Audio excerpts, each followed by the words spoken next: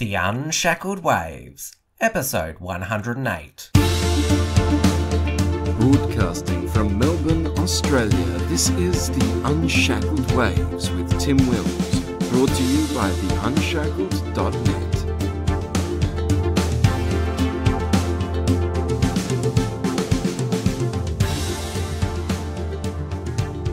Hello, everyone. Great to have your company. As you know, on the Unshackled Waves, we like to introduce you to other alt media personalities who are doing their bit in this battle we are in against the regressive left. Today, we'll be chatting to Luke Izaak, who runs the YouTube channel That Guy Media. It features his interview series Old Speak, where, like this show, it features interviews with other media personalities and activists. Luke has a background in music and music promotion, so he knows a thing or two about uh, media and promotion. Luke, welcome to the show. Thanks, Tim. How you doing? Uh, I'm doing well, thanks. Now, I thought we'd start, uh, both of us probably, I'll say, five, ten years ago, never thought that uh, we'd have this uh, career in uh, alt media. There, For each of us, there was always a, a moment uh, where, you know, we felt, you know, compelled to, to enter this scene. Um, you I've seen you on your show call it a red pill moment. So uh, I'll ask you to explain what's yours. Oh gosh, how do we do this um, without implicating other people? For me, I grew up an arch conservative. Okay, I um, uh, from 2001, I, I was doing uh, straight out of school. I was doing a liberal uh, or advanced diploma in liberal arts at the time, um, and 9/11 happened, and so it was one of those things that I bought the narrative. I wrote way too many column inches to uh, to be proud of supporting the wars in Afghanistan and Iraq after that, and um, I was on that road for for a good five years until uh, one of uh, my sources basically said, and then another within the space of three months, we're not helping you anymore. Um, uh, they were deep sources in the US, and uh, the, and I didn't understand why. They said, unless you get over this Disneyfied fairy tale of, uh, of what you think about this war, um, we can't help you. Uh, within the week, I had a couple of hundred pages dropped into a, a secure Dropbox, and um, the whole rug had been ripped out from under me. I realized, um, well, I went into depression for about six months, and I realized that if I was wrong about that, I was wrong about so many more things. You know, the way I thought about other people, the way I thought about about other nations. Um, and, you know, I had avoided tinfoil hat conspiracy theorists like the plague, you know, my whole life. Like, I really hated the idea of uh, anybody questioning the mainstream media narrative because it was so good and virtuous and right. Um, but yeah, look, between that time, um, the, you know, I won't say I swung hard left, but I, I started seeing the other side of things, you know. Um, so from Bolt to Pilger, in a sense. Um, that red pill moment, just as they do, it, it just uh, you, you become more open to more things after you get over the the um, life destroying depression of the whole thing. And Ron Paul literally was running up to that 2008 campaign, and then you know subsequently the 2012 one, and I got exposed to a whole new way of thinking, um, libertarianism, that sort of Ron Paul libertarianism, and um, yeah, look, man, it's been a journey, and it's. Um, I, I, guess the first red pill is just to realize that uh, we know nothing unless we really research the crap out of it, and um, it's so easy to pat people on the back. It's so easy to get inside your own little echo chamber and think that everybody else has the answers, and you just have to rely on them until you realize you start digging. You realize most people are repeating slogans and yeah, 2006 was 2006 was the time I was five years late to the party, realizing, well, or three years in the case of Iraq, uh, that it wasn't as virtuous as uh, as I believed it was, and I've probably swallowed a good 120 tablets of uh, or red pills in that, in that time. So, yeah. Uh, it's not easy to uh, be in this uh, uh, alt media scene because you know you do lose a you know a lot of friendships. You're you know saying uh, unpopular things, but uh, it's just it's uh, maybe it's a curse in a way that we're just driven to uh, pursue this because you know we do see that you know there's issues that need to be discussed. Mm. Yeah, look, I, it's funny because like we're talking about liberal arts, and I was reflecting on this a little while ago. Um, I was in a you know a liberal arts program, okay, and even then there was obviously this staunch, how do we put it, um, rebelliousness to being the only hard conservative in, in a bunch of like real rabid lefties, you know, um, and and it, I, I think that streak has always run through what I've done. I'm not so much afraid to. I hate losing friends, but I'm not so afraid to sort of preach what I believe and, and, and, and speak the truth as I see it. Um, I think the red pill moment, though, that happens, um, it takes away your security blanket in a sense. It, it, it really makes you feel um, so insecure and lied to and, and betrayed and, and all of that. And I've seen red pill moments destroy people. Like I've seen them, uh, you know, some people can handle them, some people can't. And it's not about strength or makeup, I don't think, but I think it's, it is quite catastrophic and it can lead to um, severe depression. Um, when something that you, you, you'll see it with people who join Protestantism or the Catholic Church or something like that after having like their whole family having been in one or the other. And um, you know that sense of being lied to your whole life um, is is is hard, and it makes you suspicious, and it makes you sad, and and yeah, look, it's it's about how you use it. So yeah, I, I think yeah. Look, continue with your questions, but I really do think that um, Australia is way behind the eight ball on alt media. So you said ten years ago, you know, who would have thought we'd be doing this? Um, anybody who's been observing geopolitics in, in you know this last decade or more has seen a huge awakening around, yeah, thanks to the internet and thanks to uh, alt providers, for example, uh, giving news and information that otherwise would not have been accessible to the general public. And it has had significant change on populations. For me, it took me two years to pull my finger out um, because I quite literally um, was hoping somebody else would, would come along and do it for me. um, and we are in Australia so far behind the eight ball when it comes to this sort of thing. So, yeah, look, if the best we can do is inspire half a dozen other far more articulate, intelligent people to take up the torch, that's okay with me. Now, your background's in uh, music, and people yes. watching the video can see the keyboard in the background. Uh, now, uh, okay. previously on this show, I've interviewed the, the Rational Rise and James yep. Fox Higgins and Rob McMullen. They're both musicians. Mm-hmm. I've wondered, is there a you know conservative libertarian streak in the, the music industry that's just hidden? Um, that's a, that would be a big call for me to make. But one thing I have seen the awakening from the far, far left to the far right. I, have seen a lot, and there are quite a few people. I was talking to a gentleman, a very well-known uh, entertainer recently, who I won't out on the show, but um, he was he's just recently been exposed to Milo Yiannopoulos and Dr. Jordan Peterson. And as a hard lefty, it's been a real challenge for him. And we spent forever talking about that process of of um, of recognizing the substructure of Western civilization was based on something, and it's been undone very very quickly. And um, you know, there, there there's a, another gentleman I, who I won't who we just did a festival with recently, and you know, I joked about Happy Invasion Day because he was playing an Australia Day show that we were doing, and um, and he started, "Don't start with that shit," and I realized very quickly how much of a conservative streak he sort of had in him. Um, uh, and nobody would know because they don't advertise it. And I, you know, I can say also that there are, you know, you and I disagree on the same-sex marriage thing, but um, when I was sort of doing interviews on the for the No campaign, like why I was voting no, um, and exploring that subject, I have a lot of friends in the industry, for example, who voted yes straight away. I mean, it, as soon as the ballot paper came in, because that's what we're supposed to do.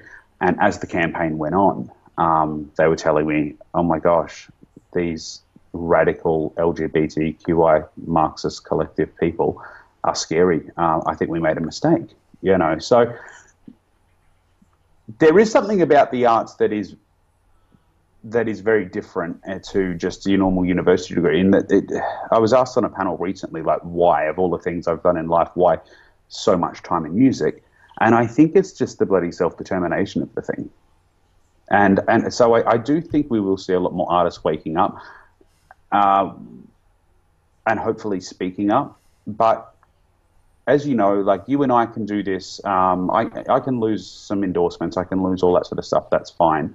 Um, some people out there are their whole bread and butter relies on toeing a certain line and a certain way of being. And if they were to do today what we're doing today, um, it would be a career ender. Uh, and they would have the whole power of the mainstream media basically naming and shaming them. So um, I think it's going to take a little bit more of this. I, you know, I don't think the the boldness of institutions is necessarily going to change overnight in a country like Australia. I think, sadly, we're probably going to be relying on the next generation. And uh, yeah, yeah, I, I, I, I, do know conservatives in the industry. Um, some of them you'll see they'll out themselves on Facebook, but generally, it's private. It's private, much like the rest of the community, I guess.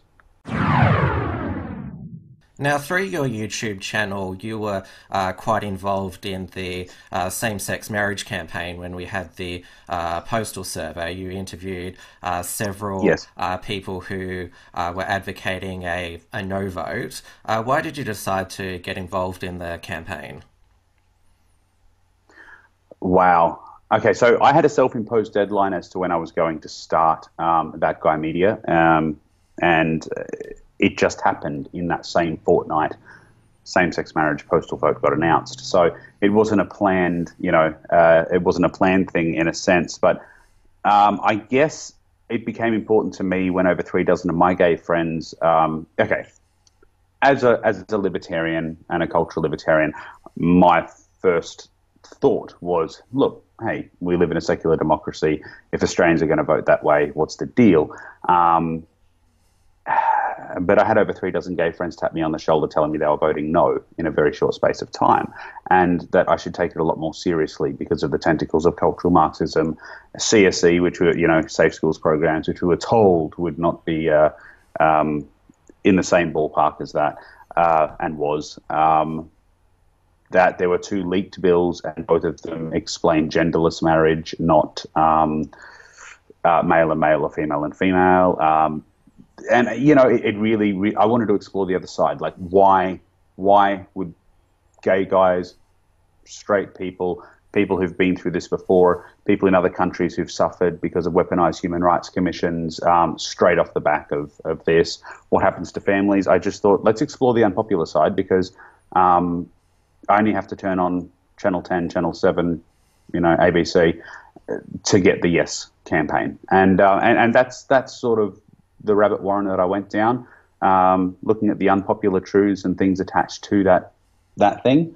Um, yeah, it, it, I, I just guess by by virtue of the fact that we weren't getting a whole lot of no media um, in the mainstream media, I wanted to see how important this thing really was.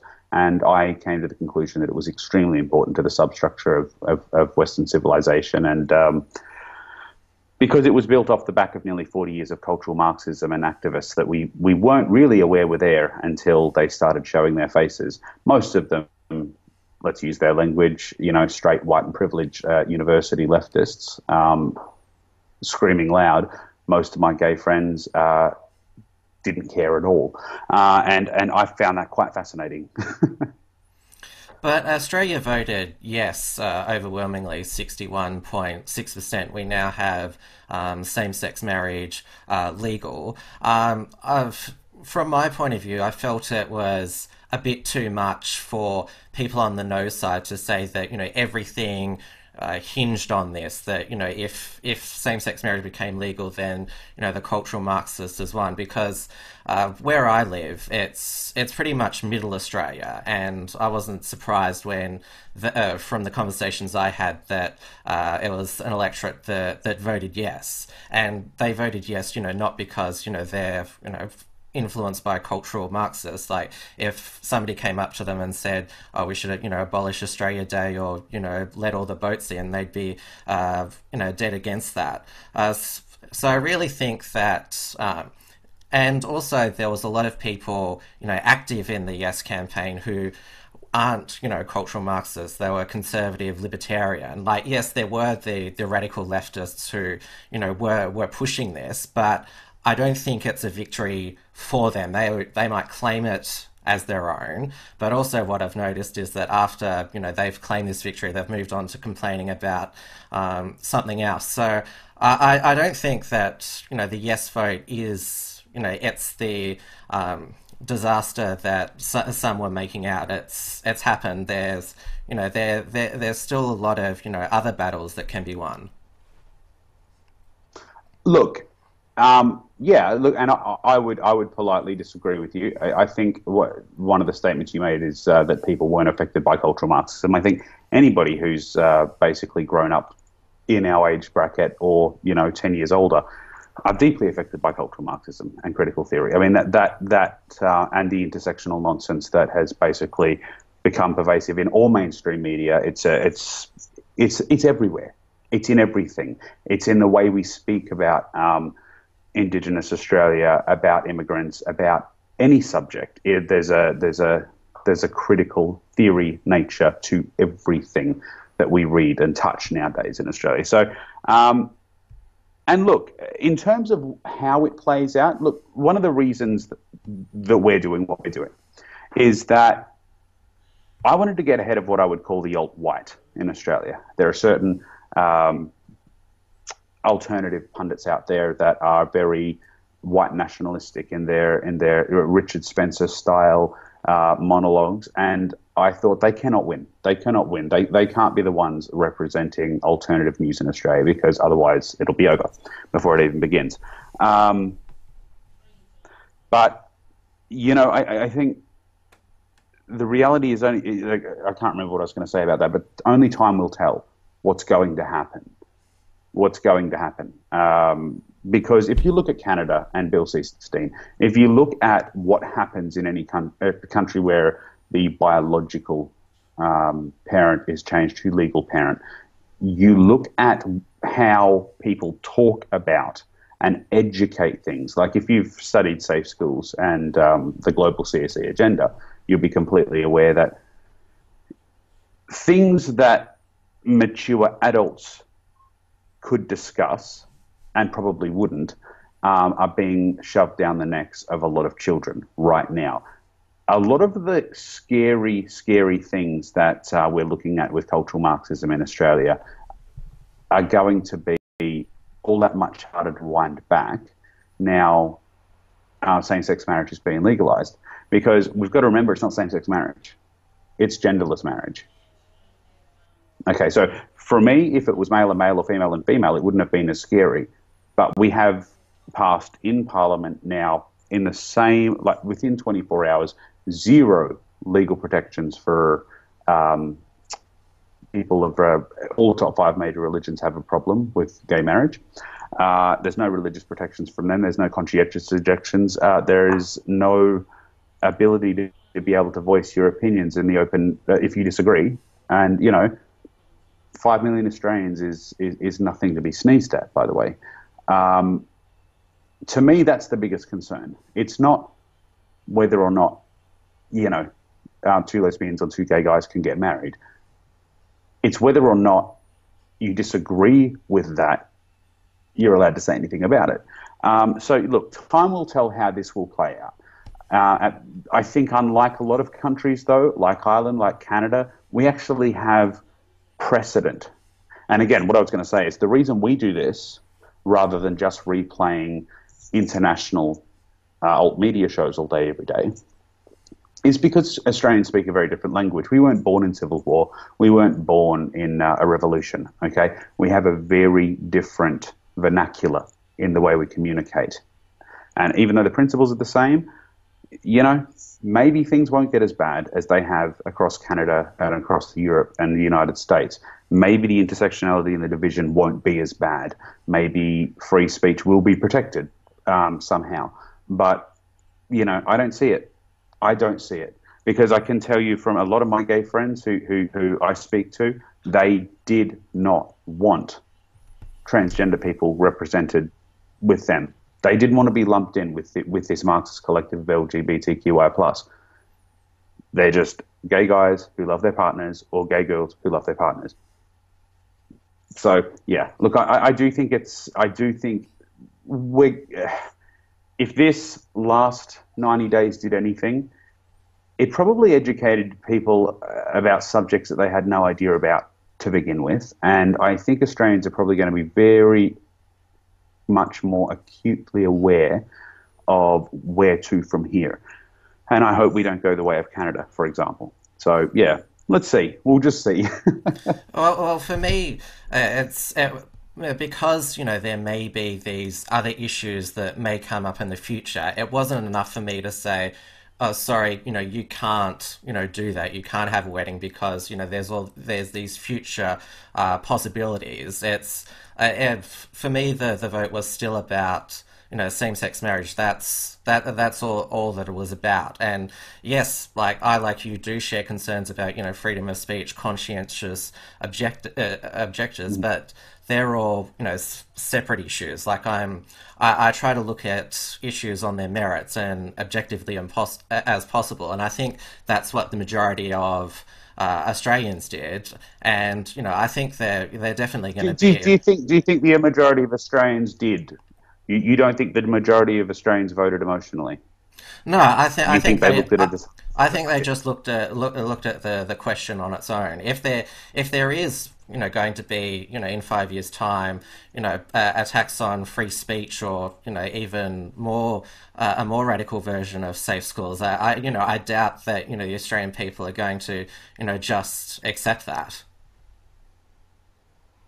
Well, okay. Four years ago, they accepted it though, and and, and this is this is the thing. One thing I think this okay. So Safe Schools was snuck in under the cover of night as an anti-bullying program, and just like a lot of CSE programs around the world, they're snuck in as uh, anti-pregnancy programs, anti-domestic violence programs, you know, anti-bullying programs, and things like that. And it's not till a couple of years later that the public realize there's radical gender theory being taught to their young children uh, that they get really frustrated. So, look, I, I think if this plebiscite did anything, it exposed people to a huge amount of issues that have been snuck in under the cover of night activists and ivory tower intellectuals who have been operating from La Trobe University and others, for example. Um, they, they, they've been exposed to things that they didn't know existed before. So, you know, good came out of it in a sense. Um, but yeah, look, we'll, we'll, we'll agree to disagree. I, I, think I think at the end of the day, um, we have precedent in every other country, the other 24 countries that have actually done this, where human rights commissions have been weaponized to anybody who has any um, disagreement, uh, conscientious objection to um, uh, gay marriage. Just, just call it that, right? Uh, that in and of itself needs to be protected because all top five major religions in the world won't change their position just because the state said so. And I think you are going to see a lot of these same horrible activists who start raising hell for religious institutions, um, demanding that they should be married in a church, demanding that they should be able to use any service that they that they should so desire. And I think you're going to see a bunch of test cases unfold next year, which will um, probably make Australians think twice about what we did, because it wasn't about okay, we were presented should same sex couples be allowed to marry? That was the ballot paper. Sure, absolutely. Why not? That's how most Australians voted. What they didn't vote for was the bill that passed. They didn't vote for genderless marriage. They didn't vote for transgender marriage. Okay, that postal survey did not say anything about transgender marriage. And anybody who um, realizes that gender dysphoria is actually a, a psychological issue, like uh, any psychologist worth their medal. Um, you know, I, I, I, really think that is a profound difference to what the Australians were asked to vote on. So, you know, I, I think we're going to be watching. We're going to be watching very closely. And this is not out to hurt my gay friends at all. In fact, I probably conferred to them far more than um, I would any other identity groups um, that I was talking to because I just wanted to make sure I wasn't pushing too hard, too far, and, and too early.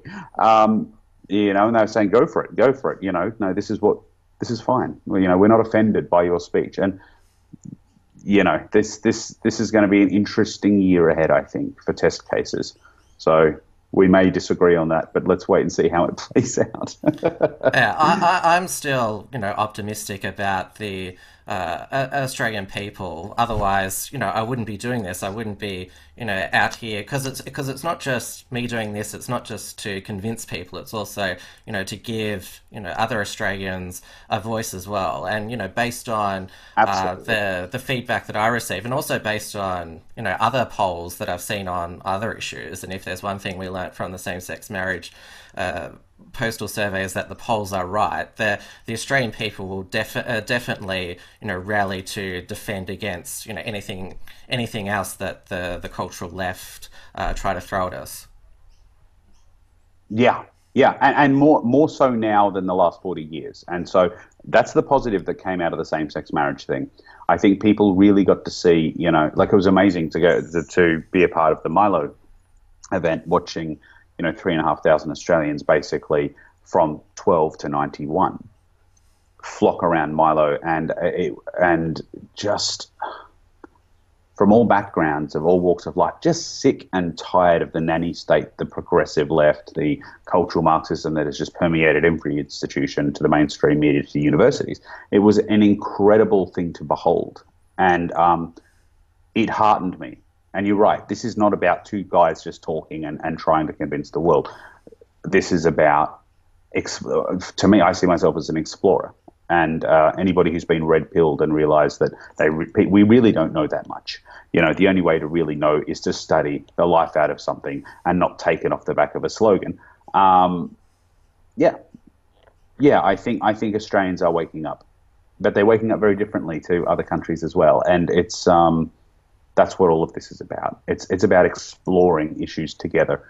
And like George Carlin said, well, you know, let's paraphrase. If I say to my wife, "Do you want to go for coffee?" If there's 26 locations within four blocks of my house to coffee, then how many more solutions to love and economics and war and and all the rest? You know, um, I'm I'm so tired of the two party, the two newspapers, the two, you know, the left, the right divide. It, it's it's all false. It's all a false paradigm, and Australians are waking up to that.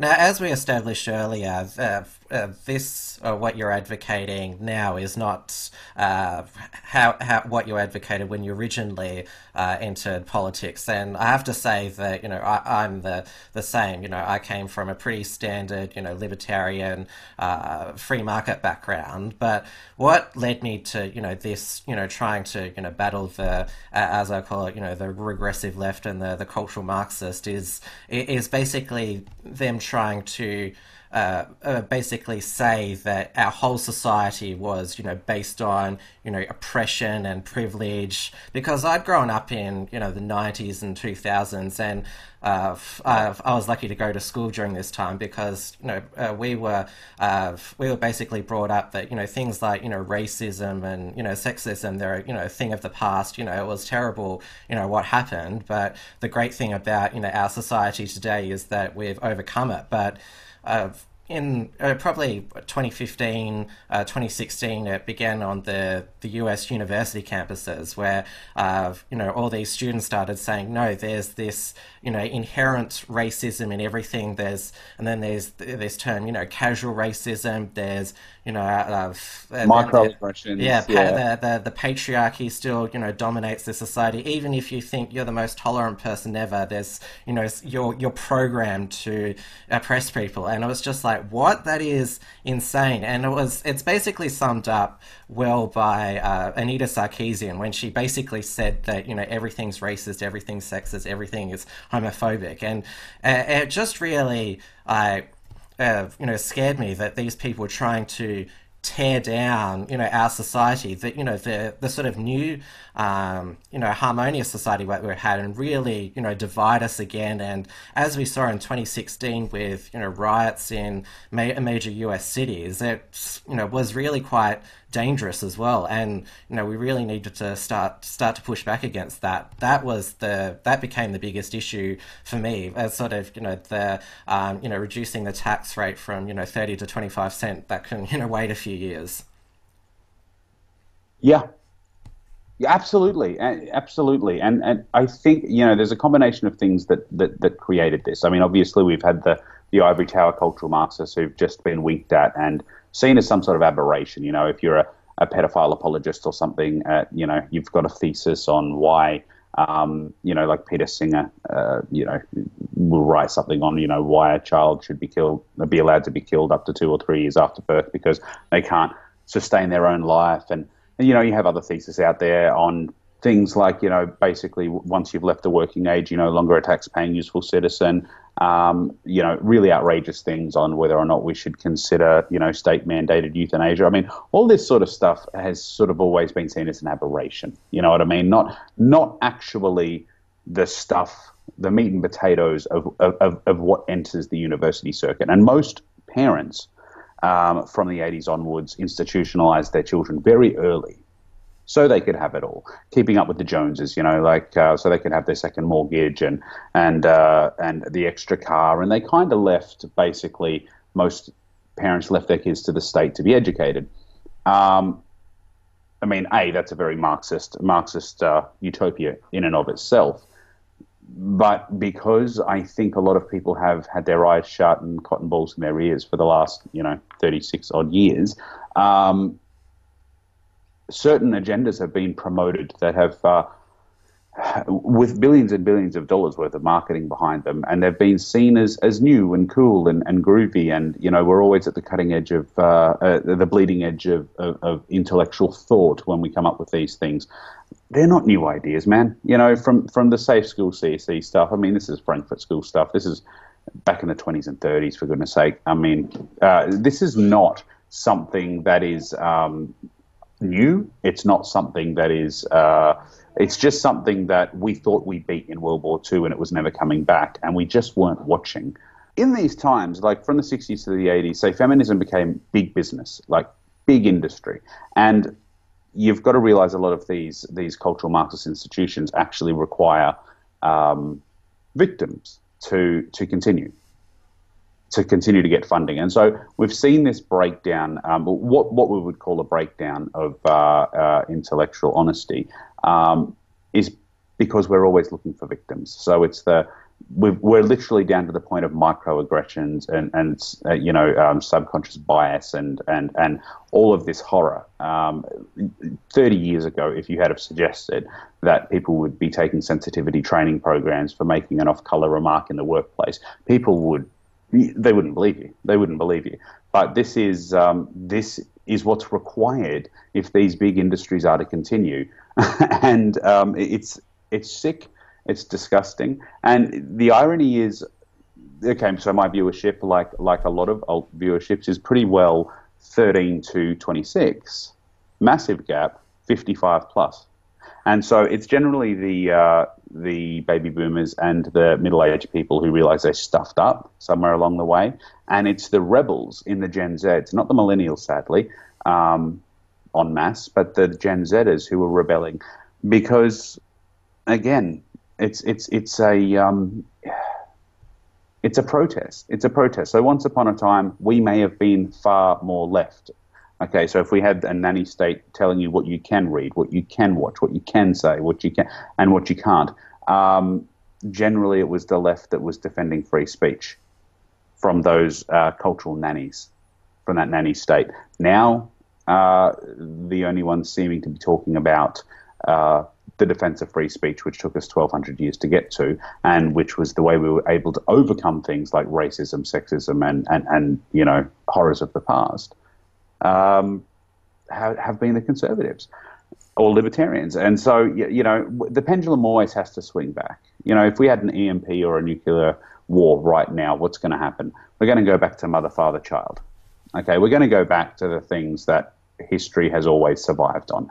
Um, and economically conservative principles just uh, are, are usually are usually the things that that are birthed after mass catastrophes. We don't generally see um, these very privileged individuals. And you look at the numbers, you look at the numbers of the people marching, screaming, yelling, ranting about sexism and racism, and they're generally fairly well off white kids who uh, have never really worked a day in their life or suffered hard.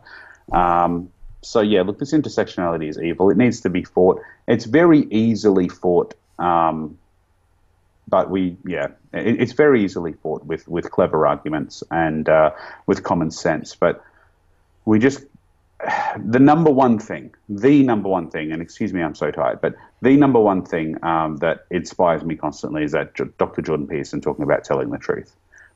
Okay, so we have this very nihilistic view in the world about um, this very victim mentality about who we are.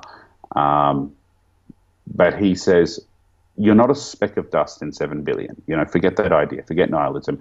You are actually a node in a network, which means you know a thousand people. Okay, which means you're one person away from a million, two people away from a billion.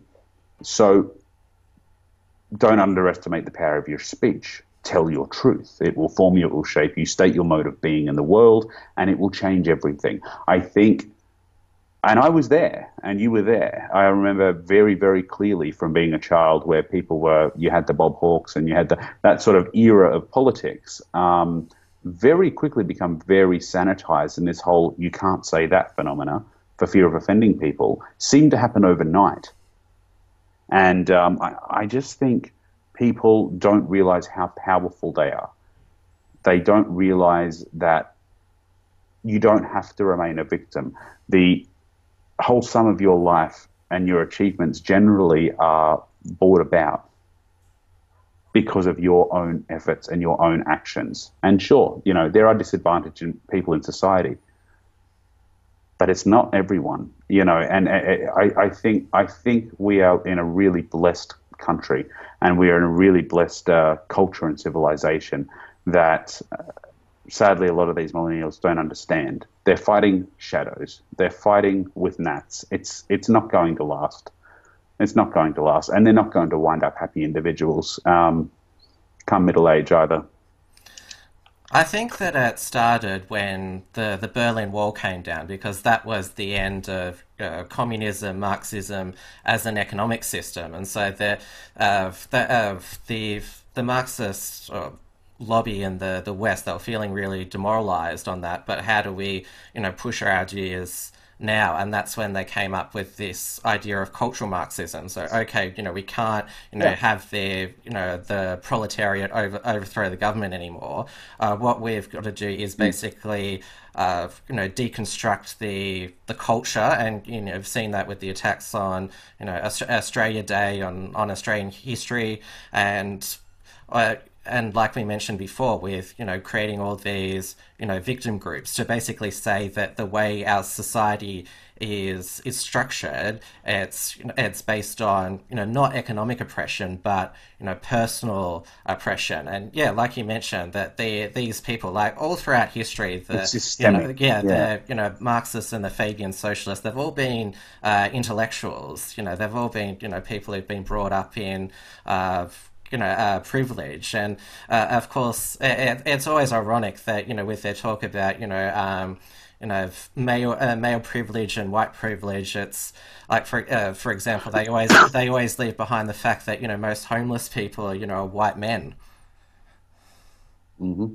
Absolutely, absolutely. I mean, the, the, facts don't lie. And look, if if I honestly thought that this was a thing, um, I'd be there, right? I mean, I'm happy to have my mind changed. Show me the numbers, but what we're seeing is a lot, a lot, a lot of um, victim narrative, victim culture, um, and you know they're invading on everybody else's lives. This this this guilt that is, like Cory Bernardi says, you know, conservatism at its best is standing on the shoulders of giants so that you may see further, and that's so you don't make the mistakes of the past. You build on the best that you've got critical theory is, in and of itself, uh, a, a, a system of thought that everything old is bad and everything new and progressive is good. And it's always throwing the baby out with the bathwater. You know, and Dr. Jordan Peterson says something very interesting about that. He was talking about the Tower of Babel and self-limiting systems and things. And one one of the interesting things is all of these people who were told that they're so powerful and important and intelligent, and you know, every child gets a trophy basically um, in universities, all have an idea about how to save the world. He said, start by cleaning your room for goodness sake, and secondly, start by trying to change a close family member or friend. You know, they drink too much, they swear too much, they do something that is offensive. And he said, You're going to get blowback. It's really, really hard to change somebody else. Like, sometimes impossible. You know, but if you can't do that two or three times, who the hell are you to think that you can actually have a theory that is going to work for all of civilization? Everybody's got one. Reality is, they get to run rampant these theories through universities untested because it usually takes at least 20 years, if not, you know, two generations or three generations before there's any blowback for that stupid idea. Um, we can change, we can at best affect change with the people in our lives. But it has to start with us. And then it starts with the neighbors and it starts with the people in your very life. And if you're not practicing what you preach there, for goodness sake, stop writing thesis on how you're going to change the world or, or um, you've got a replacement for Western civilization, which is far better. I, I just think there's a lot of sociopathy, a lot of narcissism, um, mixed with victimhood and, uh, and, and intersectionality, which has just created this beast, and it's been allowed to run rampant quietly for a long time. Now it's coming in, it's rearing its uh, ugly head in public. Um, yeah, it's become laughable. It's, become it's not just ideas uh, now. Uh, now that you know are being you know forced on you know people, especially uh, young people. It's now it's now become you know vi- a real life violence and intimidation. It's it's not just you know you're you know being taught you know a warped view of the world. It's just if you don't agree with that, you know we're going to if we can beat you to a pulp. That's right. But that, but see, that's that's the logical extension of of if you think if you actually, I don't know if you saw that Steve Crowder. Um, I believe there are only two genders, change my mind, sort of thing. And you listen to the people coming up to him on the street and say, so why do you think they're? Uh, sorry, this is at university, and you know, they're saying, you know, so I believe uh, gender is what you feel it is. Okay, okay, so why do you believe that? And he said, what if I, I choose not? Because in, in a legal framework, how are we supposed to operate a society in this sense? Um, oh, you know, well, it'll operate fine if you, you know, treat people's feelings as all equal, et cetera, et cetera, et cetera. And he said, okay, um, what if I choose not to use your um, preferred pronoun? He said, well, that, that would be violence. And he said, well, that would be a crime. Oh, no, no, I'm not saying it's a crime. I'm just saying it would be violence. And you go, but the law defines what violence is. You know what I mean? So there are a lot of very confused, fractured individuals out there at the moment. But the reality is, if they feel violated, if they feel like they are victims of violence, and you keep telling these kids that they're victims of violence because you use the wrong language around them, um, the natural response to them, to that person, is to commit violence back. That is no framework for civilization. Um, you know, what is it? Shapiro always says, you know, the uh, the facts don't care about your feelings, and that's why we have to keep exploring these things and, and trying to expose other people to. There's nothing harder than watching a glazed-eyed uh, lefty who just cannot, cannot, cannot think for themselves. Um, so we need to find ways of red pilling them very, very quickly. As I stated before, the the reason that I'm doing this is well, two reasons. Because you know, I want to give you know uh, Australians who you know believe the things that I do, uh, you know, a voice and, and give them the, the confidence that you know they're they're not alone and that they can you know take part in the, the fight back as well. But there's also uh, a lot of other Australians who you know just live their daily lives who aren't engaged in this. Where to use your favourite term, we uh, basically need to red pill them, uh, and so as so that's the the second part of you know what we're trying to achieve: red pilling uh, the masses. And uh, like I said before, I do believe that a lot of Australians are already on our side. I mean, uh, you know, 85% of Australians support Australia Day. Uh, there was that poll a year ago which said that, you know, 49% of Australians wanted to uh, ban Muslim immigration. Uh, you know, some on the right do think that goes a bit far, but it, you know, shows that, you know, the Australian people, they are concerned about, you know, the immigration uh, s- system and you know making sure that you know we have a, a nation that is socially cohesive so there, there's the, uh, yes. the the public is you know there to um, you know uh, have their voices heard.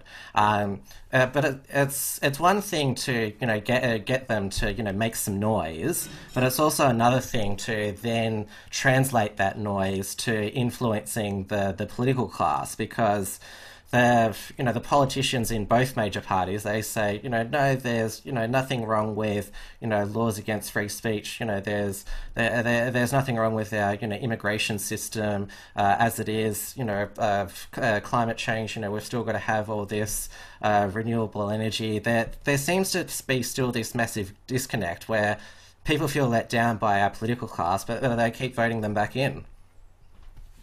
Yeah. Absolutely and I think most of it has to do with the fact that we've relied so heavily for generations on the idea that um, politics is a solution.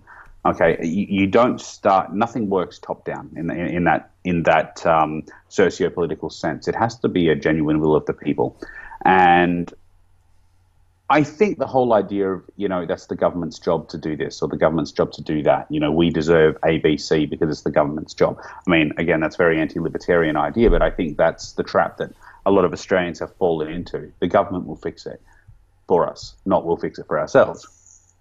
But I think you know I, I think people are waking up to the fact that that's just not a reality. Um, you're right. I think Australians uh, generally um, are endowed with common sense. You know, I, I, I genuinely think that they have been made to feel insignificant and inferior by a very loud, very well funded machine, um, uh, mostly uh, comprised of, of, of, leftists and, and, and, and cultural Marxists, that present a narrative of the world or a narrative of our country that isn't actually so. And they've played on a lot of guilt and a lot of, you know, past horrors and, and things that we've done in the past. They've uh, rewritten history books to basically make things look a certain way and and, you know, I think there's been a real breakdown in the generations. Like, we don't listen to our grandparents anymore and about their, you know, what they went through. We generally don't speak to people too much younger than us. I do see a coming together happening at the moment. So, in terms of red pilling the masses, as, as you, you're saying there, I think, first of all, lead by example. I don't do parents well, um, though I am one. And, and, and one of the one of the things I've I'm getting better at it. One of the things I find fascinating at you know four, five year old birthday parties and things like that is, you know, we'll talk about a subject and I'm listening to people speak in hushed tones. So you talk about safe schools, for example, um, and the majority of parents are deeply uncomfortable by the idea that their their child may be actually taught masturbation with dildos and sex toys uh, in a classroom environment by a 45 year old. You know that that that makes them deeply uncomfortable at a at a maternal or paternal level, and they speak in hushed tones and all that sort of stuff. And I love drawing it out. I love drawing it out. And the moment you encourage them that they're not alone, that other people think that way too, um, on any on any subject, you know, um, it, it, it really gives me a lot of pleasure. And I do see a lot more of that happening. But I do think we have to lead by example. You know, a lot of people who otherwise thought they were alone and were the only people who'd ever heard of Milo Yiannopoulos um, met at these events, for example, uh, and they realized, oh my gosh, so I'm not the only person in Australia who's heard of this guy. You know, um, I'm not the only person in Australia who doesn't believe the narrative that is a Nazi and a white supremacist and all that sort of stuff, and he's actually got a few sensible things to say. Um, you know, I, I, I, think we just need more of that, and Australians will do it themselves. I think the she'll be right attitude um, that has pervaded Australian society for a long, long time is drying up. Um, the far left don't think she'll be right they're always on, on a march. They've always got an agenda. And I think Australians are only in recent days been waking up to that agenda. And I think, you know, it's going to be war. It's going to be war. Um, we just have to remind them that they are powerful, that everybody is powerful. Okay, and it's not about changing the world, it's about changing their world.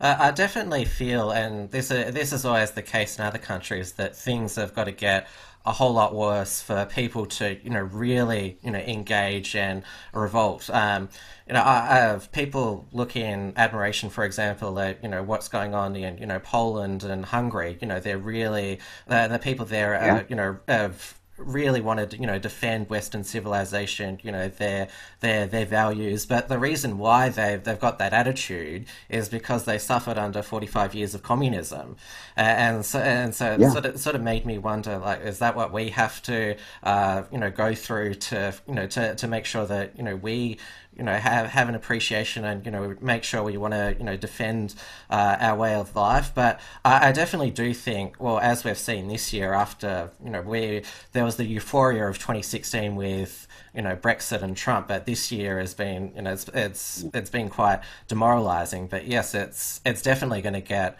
you know a lot a lot worse, and you know I, I think that you know that's when uh, you know we need to make sure that when that time you know happens, when you know it it, it does become you know intense that you know the Australian people are ready to you know f- uh, fight back and say because uh, I mentioned politicians before like uh, even, like they, they do listen to you know too much the you know the cultural elite and the intelligentsia but you know they are still shit scared of the people and the voters and if they receive like you know a thousand phone calls in a day saying you know what you're doing is disgusting like you know they, they, they'll they'll freak out and you know cha- uh, change their uh, position. Yeah, look, I don't, I don't think the current staple of them are scared enough of the people, to be honest. Okay, I, I because they're mostly bipartisan on the things that that really matter um, against the interests of Australians. You know, and uh, you know, I, I genuinely think that um, it, it, it's not tick box A or B, as, as we discussed before there are many, many, many different solutions to to a problem, and we're so used to just looking at box A or B and the you know the little green C every now and again uh, that that's not the way the world works. And I, I think people are realizing that arguments are far more nuanced. That just slogans um, aren't the answer. Uh, there are so many ways of looking at things. Yes, we have the blessing of being able to look around the world at you know Poland, Hungary, and you can also look at the horrors of the socialist world um, sweeping across you know United States uh, in some states over there, where George Soros's Black Lives Matter and Antifa are, are just causing hell uh, across Chicago and the like. Well. But again, most people generally, I, I think sadly you're right things are going to get a little bit darker before they get lighter, if not a lot darker before they get lighter. And it's that suffering that's going to motivate. So most of us who have been red pilled, um, it's happened because of an event in our lives that was hard. It was horrible. Okay, and and some people lose their health, and so they have time to read again instead of just watch television, and they realize, oh my gosh, history, I forgot about that. And and they, you know, it's always the historians, it's always the artists, it's always the ones uh, sort of that don't that, that use another side of their brain that are the first ones to start questioning wars, why we need to go to this war, why we need to vote on this policy. You know what I mean? And I think I think Australia is in for a, a bit more darkness before before it gets lighter. But I think that darkness is uh, at least the Brexit to Trump thing, and you know what we saw on both sides of the same-sex marriage campaign, and the lengths people were willing to go to uh, put forth their side, um, it does give me hope that there is going to be a, a, lot more social activism, in a sense, into the future uh, from all camps as things get darker. And yeah, if there's one thing that we've seen over and over again, we have a good thing here in Australia, and uh, we don't want to spoil it. We don't want to spoil it. We want. We don't want to go the way of Germany. You know, we don't want to go the way of uh, some parts of Italy at the moment. We don't want to go the way of really socialist countries that have uh, totally undermined the fabric of their Western civilizations. Um, so, yeah, we just have to keep talking, man, and encouraging, granting people the courage to speak because speech is powerful, and and we have to defend free speech at all costs. It costs us too much to get, and it could be undone in one generation if we are not vigilant. Well, we're certainly uh, going to both keep up the fight. So I've enjoyed our chat today, Luke. We'll, we'll keep in contact for sure, and we'll definitely uh, appear on air again sometime soon. God bless. Thank you so much. All right, everybody, that's the show for today. The Unshackled does not go on holidays, so we'll be here right up until Christmas and through the new year, so please stick around. Thanks once again for your company, and we'll see you next time. Thanks for tuning in to The Unshackled Waves. Please visit theunshackledwaves.net for all the ways to subscribe and follow the show. Don't forget to pick up your free ebook at theunshackledbattlefield.net and keep checking out theunshackled.net for all the latest news and commentary.